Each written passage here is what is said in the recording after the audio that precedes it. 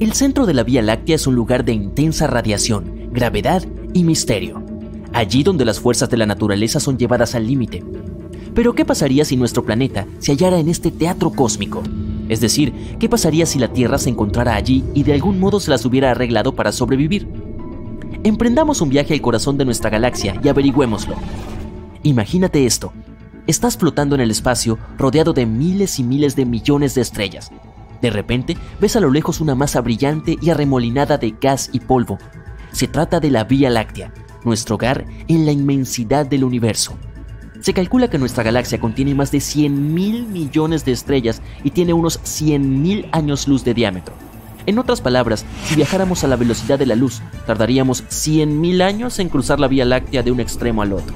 Son un par de billones de kilómetros. Y no es solo una colección de estrellas y de gas, es un sistema dinámico en evolución. De hecho, la Vía Láctea se mueve por el espacio a una velocidad de unos 2 millones de kilómetros por hora. Uno de los aspectos más fascinantes de nuestra galaxia es su forma. Es una galaxia en espiral, lo que significa que parece un disco con una protuberancia central y brazos en espiral. En estos brazos es donde nacen nuevas estrellas y también donde hay una buena cantidad de polvo y gas. Nuestro sistema solar se encuentra en uno de estos brazos espirales y es como una pequeña mancha en el gran tapiz cósmico de la Vía Láctea. Está a unos 26.000 años luz del centro, una distancia bastante larga, ¿verdad? El sistema solar también se mueve por la Vía Láctea orbitando alrededor del centro galáctico de tal manera que tarda unos 230 millones de años en dar una vuelta completa. Imagínatelo, desde la época de los dinosaurios solo hemos dado la cuarta parte de una vuelta. La posición del sistema solar en la galaxia afecta a nuestra vida de muchas maneras, por ejemplo, en la cantidad de radiación y rayos cósmicos a los que estamos expuestos e incluso en la probabilidad de recibir impactos de asteroides. Además, gracias a nuestra ubicación, podemos disfrutar de unas vistas increíbles del universo que nos rodea. Desde nuestra posición privilegiada en la Vía Láctea podemos ver otras galaxias, nebulosas y cúmulos estelares con un detalle impresionante. Además, formamos parte de un vecindario muy interesante con muchas estrellas cercanas con planetas. Así que somos afortunados. Pero, ¿qué pasaría si no tuviéramos tanta suerte? ¿Y si la Tierra estuviera situada en el centro de la galaxia? El centro de la Vía Láctea alberga una región del espacio llamada protuberancia central, y está repleta de estrellas. Es como una bola de discoteca, pero en lugar de espejos brillantes está cubierta de estrellas, solo que esta bola es realmente enorme, tiene unos 10.000 años luz de diámetro. El centro de la Vía Láctea también alberga algunos ambientes extremos que harían temblar hasta el astronauta más valiente. Las partículas de alta energía y los campos magnéticos podrían dañar los equipos electrónicos de las naves espaciales. Los campos de radiación intensa son capaces de freír todo lo que encuentran a su paso. Así que no es precisamente un lugar amigable para la vida tal y como la conocemos. Así pues, si la Tierra estuviera situada en algún lugar cercano al centro de la Vía Láctea, sería un lugar muy diferente. Veamos, en primer lugar, la radiación. Como mencionamos, en el centro de la Vía Láctea la radiación es terriblemente potente y en esas condiciones la vida en nuestro planeta sería muy difícil, si no imposible. Es cierto, contamos con el campo magnético de la Tierra. Es como un escudo gigante que nos protege de la radiación, pero ¿podría protegernos si estuviéramos situados en el centro de la Vía Láctea?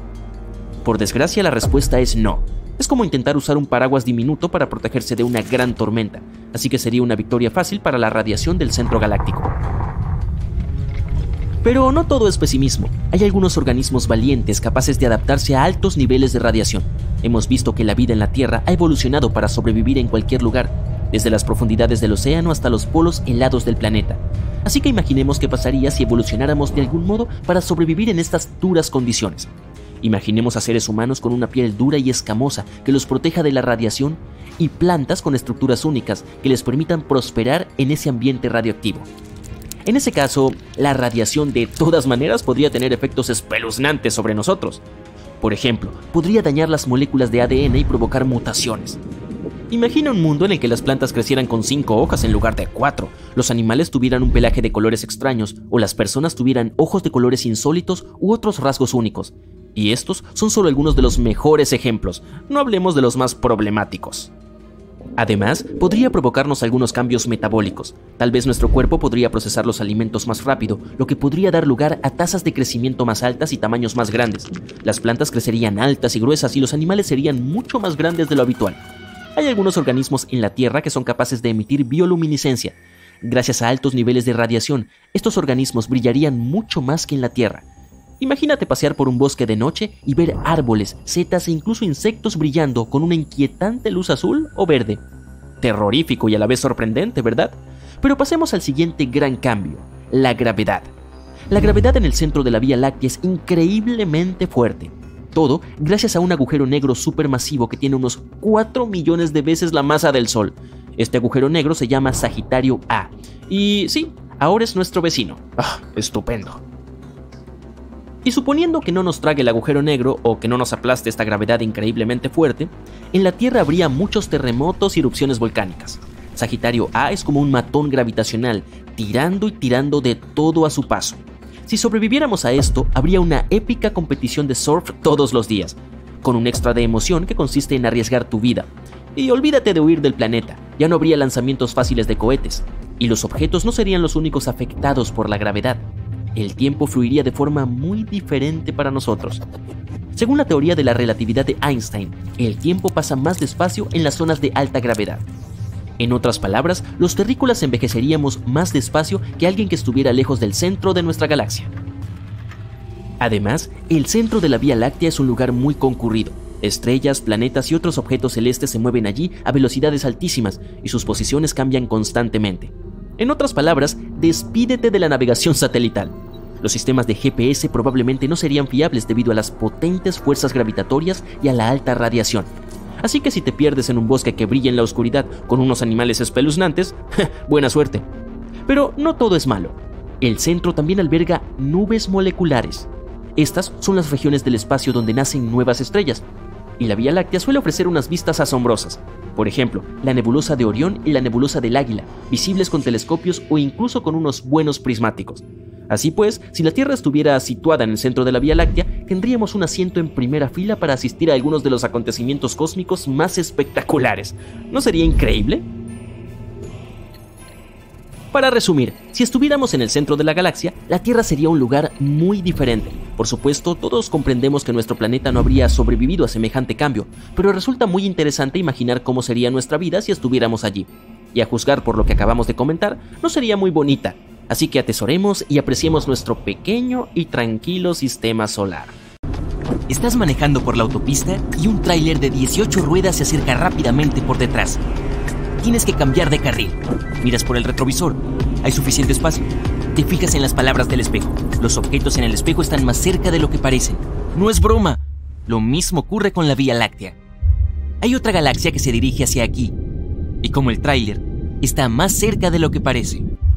La galaxia de Andrómeda, o M31, como la etiquetó originalmente Charles Messier, en su catálogo de 110 objetos difusos en 1774, ahora se llama oficialmente NGC 122 o Nuevo Catálogo Galáctico 122. La galaxia de Andrómeda, una galaxia espiral más grande que la Vía Láctea, es tan grande y está tan cerca que se puede ver sin necesidad de un telescopio.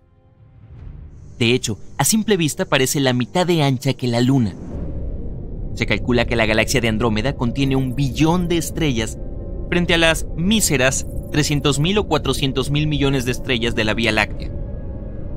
Para ver a la galaxia de Andrómeda hay que dejar que los ojos se adapten a la oscuridad. Esto puede llevar unos 10 minutos mientras las pupilas se dilatan para captar toda la luz posible. M31 se ve mejor desde finales del verano hasta el invierno, cuando el gran cuadrante de Pegaso o cuadrado de Pegaso está en lo alto Dibuja una línea a través del gran cuadrante en diagonal hacia arriba desde la estrella de la esquina inferior y luego ve un poco más allá del cuadrante. Ahí está. Pero todavía no podrás ver lo grande que es a menos que mires de reojo. Si la miras fijamente, la galaxia tenderá a desvanecerse. Para ver el tamaño de la galaxia de Andrómeda hay que usar la visión periférica. Esta te permite ver la luz con más sensibilidad por la noche, pero sin color. Los marineros han usado la visión periférica por siglos para ver luces débiles en el océano o en la Tierra. Aristóteles la utilizó para observar el cúmulo estelar M41 en el Can Mayor, tal y como describe en su libro Meteorológico.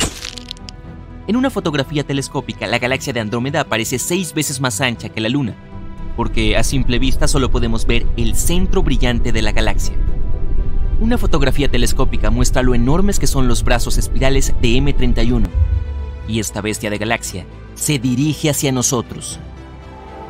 Estamos ante una futura colisión masiva de galaxias de, bueno, proporciones galácticas. Cuando eso ocurra, la humanidad podría tener que trasladarse a otra galaxia para habitarla. Quizá vayamos a la galaxia del Molinete en el asterismo de la Osa Mayor. ¿Cómo sabemos que la galaxia de Andrómeda se está moviendo hacia nosotros? Con una herramienta llamada espectroscopio. Después de la cámara, el espectroscopio es el accesorio más importante de un telescopio, excepto el ojo humano. Nuestros ojos solo ven la luz. No tienes a ese gran caballo en tu ojo, solo tienes la luz que refleja el caballo en tus ojos. Lo mismo con el espacio, solo vemos la luz que viene de allí. Así que si vamos a entender al espacio, tenemos que entender la luz. Y eso no era una tarea fácil para los astrónomos del siglo XIX. La invención del espectroscopio supuso un gran avance en la comprensión de la luz que llega a la Tierra desde el espacio. Con un espectroscopio los astrónomos pueden saber en qué dirección se mueven los objetos en el espacio, así como los elementos que producen la luz. Cuando oyes que se acerca una ambulancia, oyes que la sirena se hace más fuerte y alta, y cuando pasa junto a ti y se aleja, oyes que el sonido de la sirena se hace más débil y bajo. El cambio en la frecuencia del tono depende totalmente del movimiento de la fuente. Esto se llama efecto Doppler en honor al físico y matemático austríaco Christian Johann Doppler, que explicó por primera vez el efecto en 1842. La sirena de la ambulancia no cambia de volumen. Las ondas sonoras se comprimen al acercarse y se estiran al alejarse la ambulancia.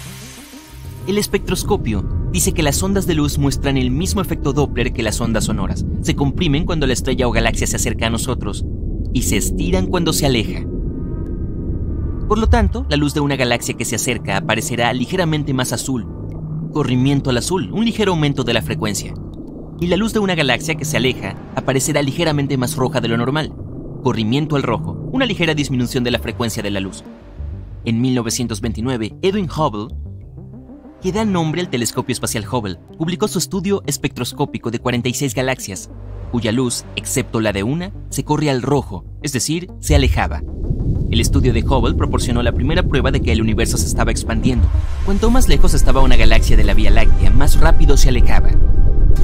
Esta fue también la primera prueba de que el universo comenzó con un Big Bang.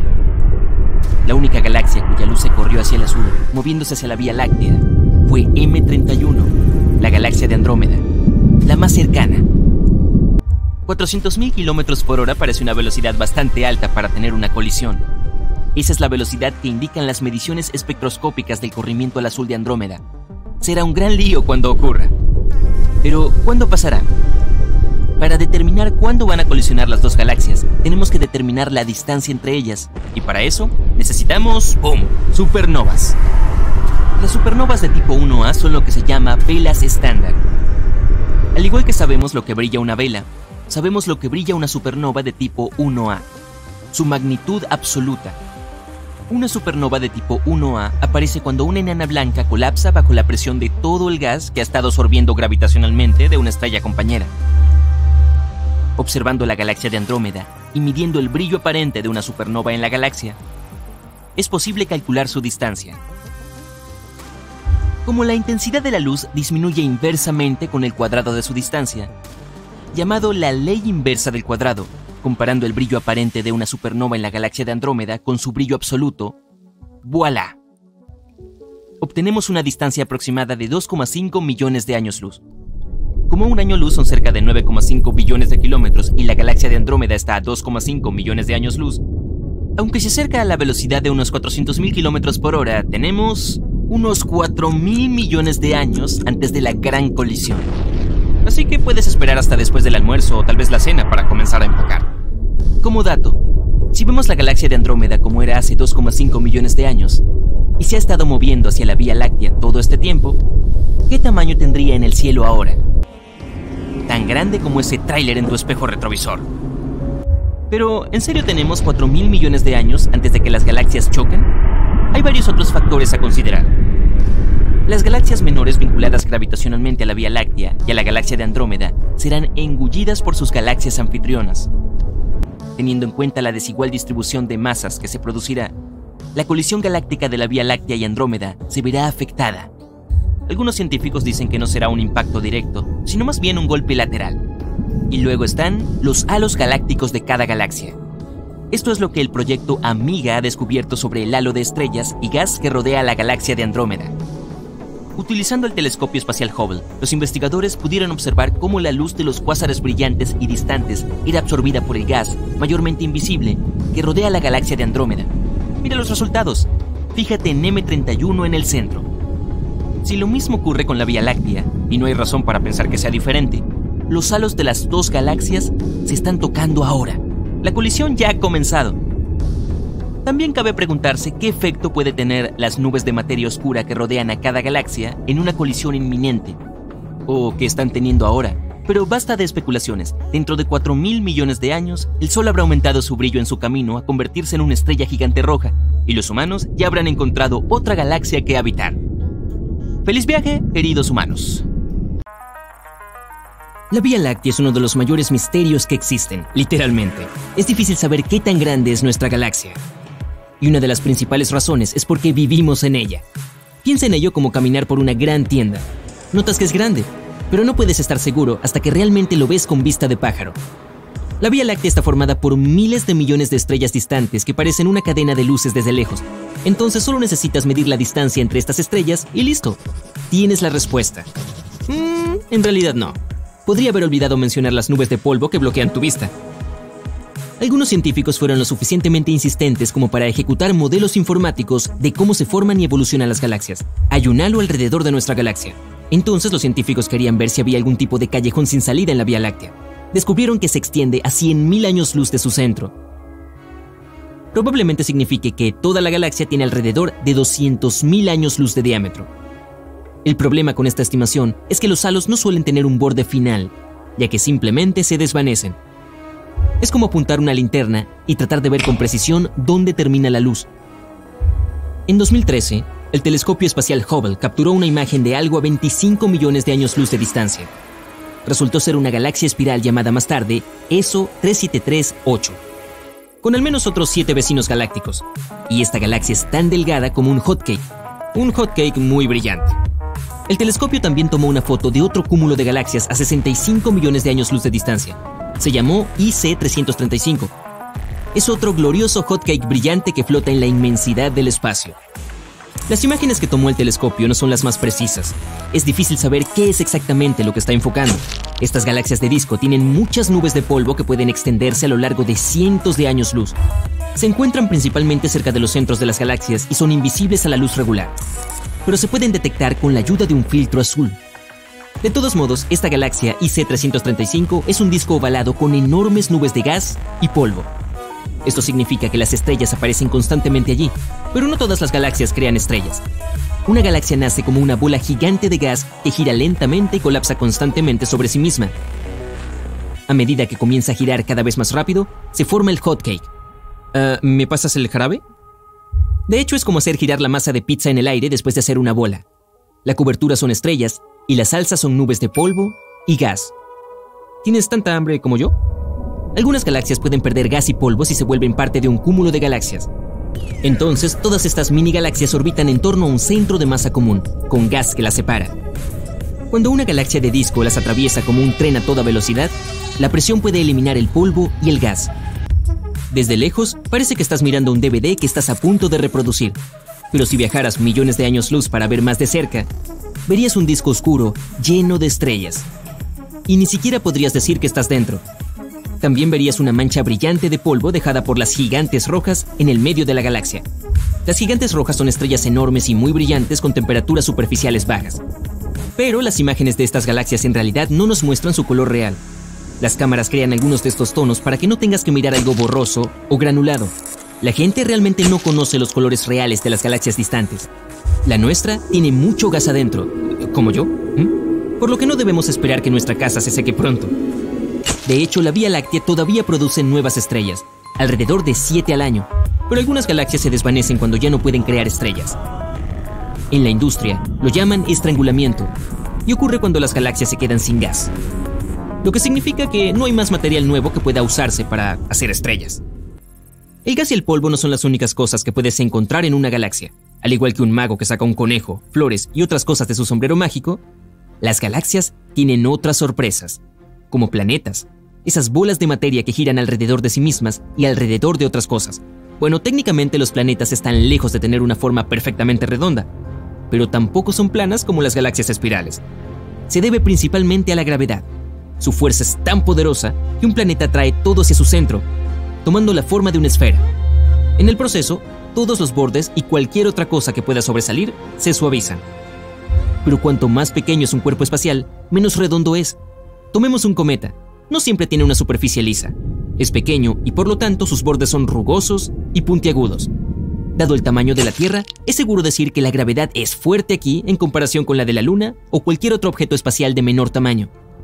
Y debido a la constante rotación de nuestro planeta, hay un abultamiento hacia afuera. Este tira y afloja entre la gravedad que empuja hacia adentro y el giro del planeta no permite que la Tierra sea una bola perfecta.